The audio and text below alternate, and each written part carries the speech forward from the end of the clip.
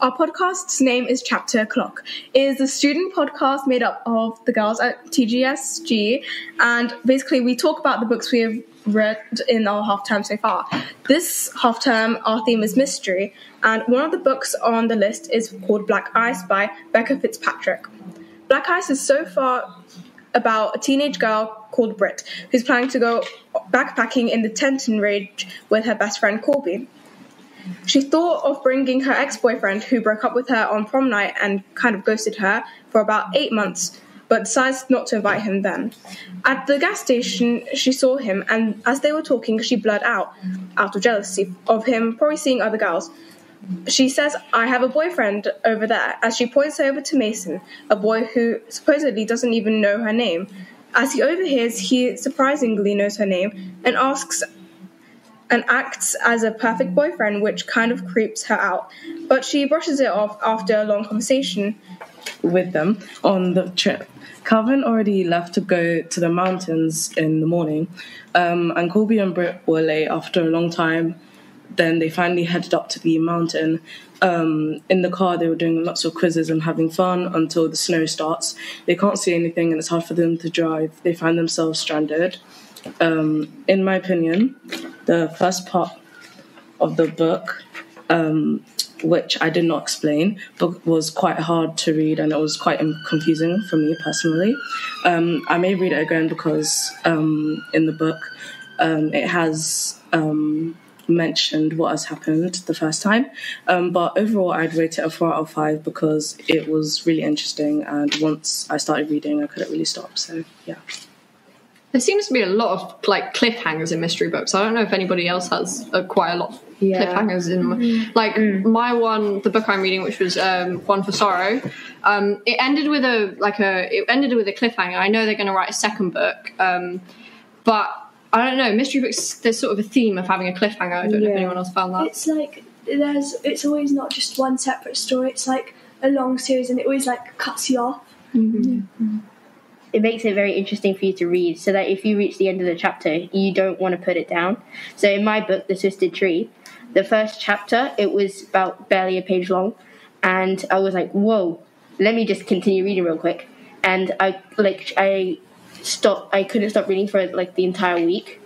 Um, and i loved the book. It was a really good book. It was about this girl who ran away after she fell off a tree and lost her eyesight in one eye but she goes to her grandma's cabin in Norway and she finds this mysterious man in her house and all of these weird things start happening happening to her. And um, I'm not going to spoil it, but I love the book and I would rate it probably a three or four out of ten.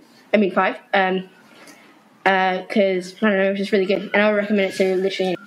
Yeah, I recently found out, like with mystery books, I haven't really read them yet because they weren't really in my genre. But when I have, I realized the first few chapters is kind of hard to get into, but the second you get sucked in, you get sucked in. Like you do not put the book down. Like once I opened up a mystery book, and it was like light at that time, and by the time I finished it, it was well dark outside.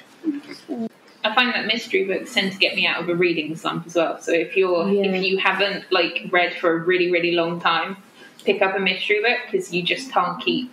You always turn the page. You're gripped by it all the time. Um, did anyone have any? Um, look, I find a lot of mystery books have multiple character point of views. Yeah, yeah. yeah. Um, so uh, I'm reading uh, Karen McManus's latest book, and that has usually about two to three, even four, even five um, different points of view, and I find that really mm. quite interesting. But then sometimes I'm like, okay, which character am I reading? I need to like go back sometimes a little bit just to follow on what they were talking about. But yeah, who else had uh, any multiple points of view? Um, I had a multiple point of view story, and it was called My Secret Lies with You. And I think it actually makes it really interesting because you get to see the all the characters' opinions, point of views, and how they think. Because from one point of view, you may think that they're really rude or mean, but then for you actually get to see their side of the story, and actually makes it really interesting because it keeps you intrigued and it keeps you wanting to know more about the character and their backstory. It also helps you like realize how they feel and what they're thinking when they do their actions. But sometimes it's also quite confusing, always going like back and forth and like retelling the story at different parts. I think it really worked in my book because I the the two main characters, Ivy and Audrey, they were completely opposing characters. So Ivy was quite quiet, studious, but Audrey was very loud and quite outgoing. And I think it really worked because they had these two completely opposite characters, and you could see how they're seeing this one tragic tragedy from both their points of view.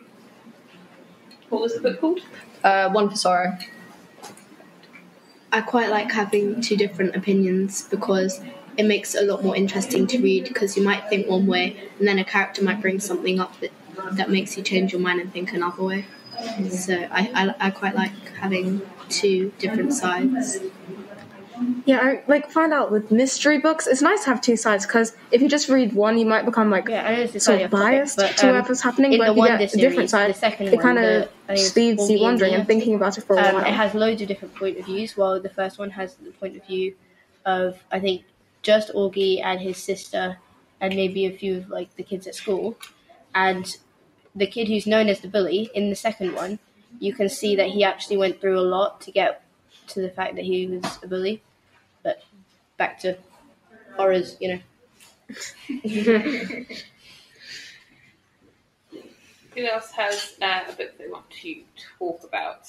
Yes, Jen. Um, I'm reading a mystery book. It's called One of Us is Lying, and like basically it's about this murder happened during detention, and like basically the police got involved, interviewing people who were in there, and um, we sit in multiple points of views. We get to see how everyday how their everyday lives are, and um, on the day they were in the detention room of what happened. Um, yeah, I would rate the book like um, a ten out of ten because um, it's quite interesting because like I really like uh, I really like it how we get multiple points of views. Did you read the rest of the series? There's going to Um, be a new one, I think, next year, which is very exciting. I'm still reading the last one. Okay, perfect. Another question for you. Um, do you guess who uh, the culprit, murderer type person is at the end of the story? Or have you found a book that you honestly could not know until the very last page? Have you all found that you know who it is? Ah, so that's, that's very not good. not always. It It's a depends mix. on the book. Like depends on the mix. Yeah. But like in this book, the book that I'm reading, which is Artemis Fowl, um, I just started it. I'm only on to like page seventy-five, but so far it's like quite a lot has happened. But um, in Artemis Fowl, like the whole book is about the supervillain, so I already like knew straight away from the start that he was the villain. Yeah.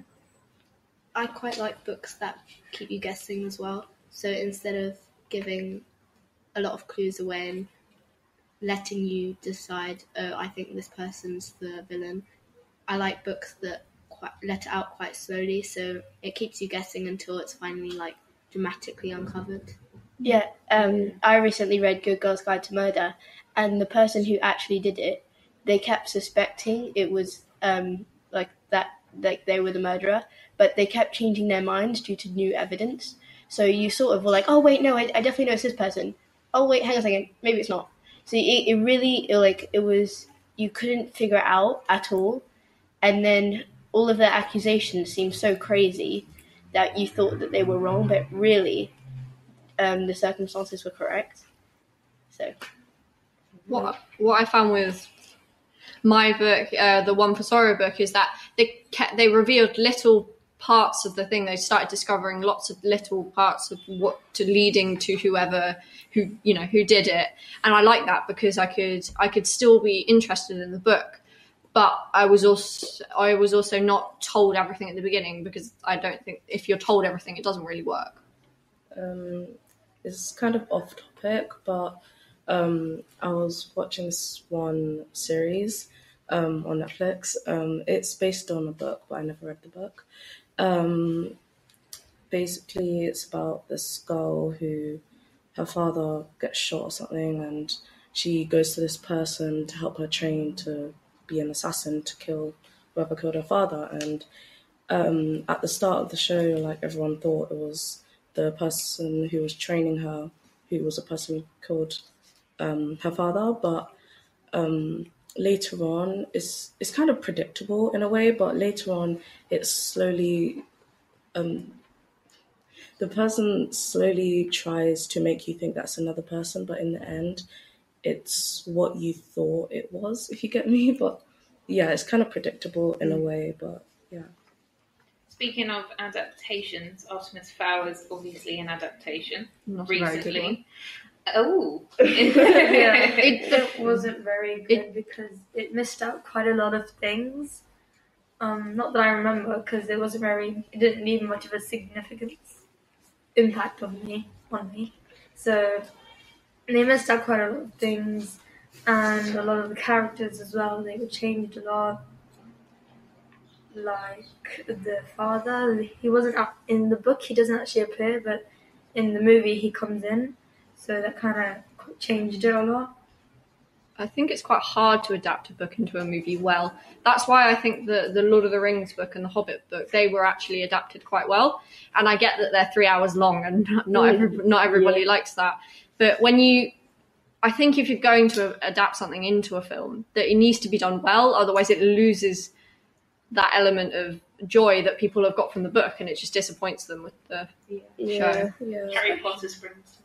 Yeah. yeah. Um, Um, who was going next? Sorry. Uh, sorry, um, I read this book, The Promised Neverland. It's like a comic, a manga, but um, I read the book. There was a big thing online. I'm not sure if you heard about it, but when they adapted the second season, they completely missed out five arcs, if I'm correct, and everyone was really annoyed. And apparently, the studio which created it, um, they um, it happened a few years ago as well um, where they blew up the place basically, but they tried to um, burn the studio basically um, because is obviously manga's a very big thing in Japan and there are a lot of um, people who are very seriously into it Yeah.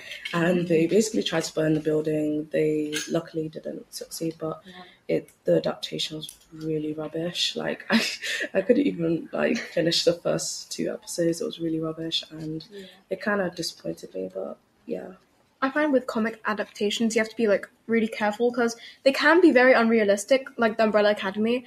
Uh, with Yeah. um, Klaus, his superpower is floating, and Diego can hold his breath for as long. she suddenly like really surprises you and i think it was quite exciting to read that because it made me really think you know wow you don't know what's going to happen i thought i knew you know i was reading the book for a while i thought i knew what was going to happen but i really didn't yeah. Have you seen the adaptations of them? Yeah, Yeah, the, the movie. the first First one's one. okay. I, The- the- I don't know why I'm the opening this okay. conversation because it always gets me annoyed every Yeah. time. The first one's okay, That's what and then the second couple were disappointing. Yeah. It kind of killed that whole Vibe. Yeah. Yeah. So after that, just nothing really No. happened. All the fact that they split the last book into two films and never actually completed the series. Exactly. No, yeah. And then they said they were going to do a TV series. I'm like, well, where's the TV series? But then I like uh, the actress who played Trish Prior Yeah. yeah. Yeah. and Tobias. So I just, yes, don't, yeah, don't get me started on that. Um, I mean, um, when because I used to read a lot of books when I was younger. I really don't know why. Sometimes when I remember, I used to read so much books, and I can't even remember the name of any of them. but me and my dad, we read a lot of Lee Child. I think that's his name. Yeah, something. yeah. um, Jack Reacher. My yesterday we were on Prime and there was like an adaptation of Jack Reacher or something. Um, my dad was like, "Oh yeah, you used to love that book." Like, What? Yeah, What? that happens when you read a lot. I'm like, um, what? And then he was like, oh yeah, you used to read that book with me all the time. I'm like, what the hell? And he's like, oh yeah, you'll love it. And we we were going to watch it yesterday, but then apparently it wasn't there. There was only the trailer. But I'm thinking of um watching that. Apparently, yeah. I think the books that stick out the most for you are the, for me anyway, are the ones that I really, really enjoyed. Yeah. So even now, um, Percy, the Percy Jackson series will, I think, forever will probably be one of my favorite comfort series because I just, I found I was able to, you know, see myself in the characters. I don't know, I don't know if you've got any other books you saw yourself in the characters, but yeah. I think my comfort book would be Coraline, and I read books. That's um, an interesting one to be. I, I don't know. I just, there's something about it. Um, the movie always used to intrigue me, but I never actually watched it because I didn't know how to. and where to watch it anyways. Come over to my Yeah. house. But like when I was younger, so I was like, you know, what, I'm just gonna read it, and it was really good. Actually, the way I started reading it is because I used to do this like odd club called LAMDA, where you just memorize poems and book passages. That sounds so boring. It, it was a bit, but you know, I got was nice though. yeah, that was you got a lollipop after you finished it, Yeah. and I remember like Miss was my teacher was like, okay, well you have to read this book and annotate it. I was like, okay, and that's my like my first time reading it. I really loved it, and now I still I still do love it, and I reread it like all the time. It's just like Mm. something. If I could pin a book in my brain, it would probably be that. Yeah, I got I got told to read Coraline in year six because you know you have like those group reading classes and they put you. in Oh sections. yeah. Yeah. I generally always hate those, but they gave me Coraline. I was like, okay, fine, whatever. And then um, I read it and I was telling my mom about it. It's like, oh, friend of ours loves that one. You should watch the movie. I'm like, sure. And then as I got to like throughout the end where the the button mom Oh, became Other mother. Oh the, other the, mother. the other mother became like the spider. I was Yeah. like, ooh, oh, okay, okay, maybe I will watch the movie. And I got like, it was so interesting. I love the movie, I did. I've never actually read the book. I've seen the movie. Yeah, I've seen the movie. I haven't The read book the book. so good. The we book- have that in the book group. Who read Coraline? I've never I've never watched the movie, but I did read it. And um, by the way, if anyone doesn't know what it's about, it's about a girl who moves house, and while she's unpacking, she finds a door, and she goes through the door, sees her parents, but she sees different versions of them, and I quite liked it, except the start of it. I feel like I've read a lot of books where the start of it it just seems a bit slow, and I'm like, get to the point. Otherwise, I'm just gonna put this book down. um, it was even though it was like slow at the start, it was like really hard to put down once you started getting through like the middle part, and it was really good. I've noticed, that, sorry, I've noticed that quite often at the beginning of books, why it's quite long, is that when after re- when rereading it, there's quite often quite a bit of foreshadowing in some books. Oh, yeah. Oh at the yeah. beginning, and that's why I really enjoy rereading books because I love finding foreshadowing, especially in mystery books. Yeah, I find that for some reason like really enjoyable. But going back to like the rereading thing, I think it's like if you really like a book, then when you reread it, although you like kind of know what happens, you, you still find it like really exciting, and it still like takes you back and gives you like that feeling. But by books you don't like, Yeah. um, it just kind of brings back like Memories. yeah, Memories. memories, yeah. Memories. I reread all the time. Like if anyone in my form knows, um, I carry Oh, Is this this book called Little Stars by Jacqueline Wilson. The amount of times I have read it, I could, Ridiculous. I could not more than that. I probably read it like in the triple digits because I just can't be bothered to switch out another book for it. Soon you'll be able But- to read the whole book off Probably. by heart. But the thing is, no matter how many times I've read it and no matter how much I know what's going to happen, I still like reading it and seeing how the main character's mindset changes throughout the whole Yeah. thing and how her life goes. Mm. I just, I don't know, something about rereading books is very comforting to me. Yeah, what, what I love about reading books is that it's like a movie in your head. Like Yeah. before they turn into a movie and they change all the favorite, like the good parts. It's like you can transport it into your old, um, your like your own world, and to make it more relatable, you could either use it in a setting that you know. Like you might say, "This girl went into the library," and then you can be like, "Oh, that's my school library." Like in your head, you can make it just your school library to make it nicer for yourself. One book that I read was um, Zoom. I read it when I was quite young, but I reread it a couple of weeks ago, and it's. I didn't when I was younger. I didn't. I just read it thinking, "Oh, this is quite a good book." You know, like I'd read it again sometime. But now I come to think about it, it is quite a mysterious book, and I think it's good. And I think more authors should um, make more mystery books for younger kids because it really got my Right. Imagine, imagine if we So, as part of Chapter O'Clock's book club, I am really excited to invite two authors to our podcast.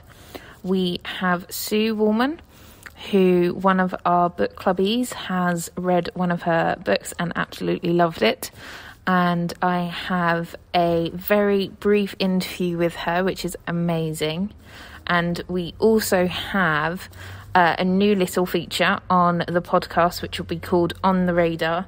And this is all books uh, within our genre that we've really enjoyed during this term um, and looking forward to reading them next year. So we have YA thriller horror writer Cynthia Murphy, um, who is going to give us an extract of a book of hers that is coming out in January, so you get an exclusive. All of her books will be available to borrow in the circle from next year. So I really hope you enjoy this. Hi everyone, I'm Cynthia Murphy and I'm the author of Last One to Die and the upcoming Win, Lose, Kill, Die. Everyone wants to be head girl until the murders begin. The students of Morton Academy are high achievers, selected based on academic excellence. So, when a series of murders target the school's brightest and best, the pressure is on. Someone is determined to clear their path to the top, and they'll stop at nothing. But who is it? Win, Lose, Kill, Die. Chapter 1 I didn't mean to kill the first one. Honest. It was just too easy, I suppose. She was already in the water, and when I plunged my hands in to help her out, I kind of changed my mind. Something inside snapped. I held little Miss Perfect's head down and waited for her to stop thrashing around. It took longer than I thought, and then she just floated there. Limp. Pathetic, really. Accidental death, according to the experts. That's nearly right. Like I said, it's not like I set out to do it. It felt good though. Chapter 2 I can't believe we're back here already. Summer had passed by in a daze, thanks to the bang to the head I took at the end of last term. Instead of going to the beach parties with my friends and staying up to watch the sunrise like I planned, it was full of police interviews and PTSD. That last day of term had started so perfectly, and then. Liz! A sharp hiss and an elbow in my ribs brings me back to the present. Taylor is standing up straight, her gorgeous hazel eyes focused on the stage, for all the world playing the perfect mourner. I mimic her, my gaze following hers to a large easel draped in black cloth. It's displaying a large photograph of Morgan, the girl who drowned in July. Pay attention. Taylor says this out of the corner of her mouth, like one of those creepy ventriloquist's puppets. She does it so effortlessly. Not one muscle in her face moves. I guess I haven't recovered as well as I thought, even after all those hospital visits over the summer. I try to concentrate, I really do, but my mind wanders as the headmistress's words blur into one long sermon, each pause punctuated by the squeaking sound of rubber heels on the parquet floor. Autumn is seeping into the corners of the building already, and the air smells of rain and damp, freshly laundered uniforms. I study the picture. Morgan was pretty, in a preppy Reese Witherspoon and cruel intentions kind of a way. She looked so sweet and unassuming, which I knew was total bull. Truth is, Morgan had the personality of a venomous snake. You did not cross her if you knew what was good for you. She'd make your life at Morton a total misery if she felt like it. It had been her idea to take the boat out on the lake that night, her big moment after being sworn in as head girl. She bullied most of us into it, from what I remember, though admittedly I don't remember much. Not after the boat flipped. Dr. Patel, the headmistress, ends her monologue with the request for a minute of silence. She's flanked by several members of the faculty. Some of them are crying, dabbing handkerchiefs or tissues to their faces. Her sharp black trouser suit is conservative appropriate for a pupil's memorial, but super stylish and paired with some killer heels. I can't help but admire anyone who can walk in shoes that high, never mind run the country's most elite boarding school in them. The rest of the staff look frumpy in comparison. I watch the clock and sway slightly. I'm not used to standing up so long after spending the summer in bed watching 90s movies. Taylor ignores me, her head down, eyes closed, the perfect pupil. and Mona. Her long, naturally red hair falls like a curtain, spilling over the grey tweed of her blazer. Morton Academy's very own Cheryl Blossom, standing right beside me. Hello, I'm Sue Wallman. I'm the author of I Know You Did It and um, other books as well. And I'm also a school librarian, and I love the sound of your book club. It sounds really great, and I might steal the idea of having mystery and um, thriller book club for my students. Um, we have various book clubs, but that's not one of them. I love the questions you sent me, and I'm just going to have a little look. Why do you write thrillers? Well, I love the excitement of them and when um, a plot comes together i find plots actually quite hard um, but when it all comes together it's intensely satisfying and um, i really like the twists and turns and also the reveal at the end um, if that works sometimes as an author you're not sure whether it works but when it does that that's that's a lovely moment as an author and the other question was what is your recipe for a perfect book well i think it's quite simple. It's a book that you can't put down, and it's a book that um, um, has very rounded characters, a lovely plot, and and you just really care about what happens, and it stays with you um, long after you've read it. So those are my answers, and um, I'd like to wish you all a very merry Christmas and a lovely end of term. Bye.